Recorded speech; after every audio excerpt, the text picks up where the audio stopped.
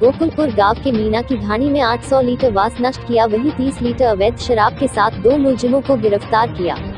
बहरोड, सूत्रों से मिली सूचना के आधार पर शुक्रवार को बहरोड थाना अधिकारी विनोद सांतला ने कार्यवाही करते हुए गोकुलपुर गाँव के मीना की ढाणी में एक देसी शराब की भट्टी सहित दो बड़े ड्रम और एक छोटे ड्रम में रखे लगभग 800 लीटर वास को नष्ट किया और दो अलग अलग जगह से 30 लीटर अवैध हथकर शराब के साथ दो मुलजिमों को गिरफ़्तार किया है।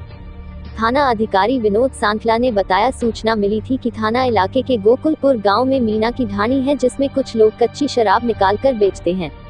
जिस पर एक टीम का गठन किया गया और तुरंत प्रभाव से मीना की ढाणी गोकुलपुर भेजा गया।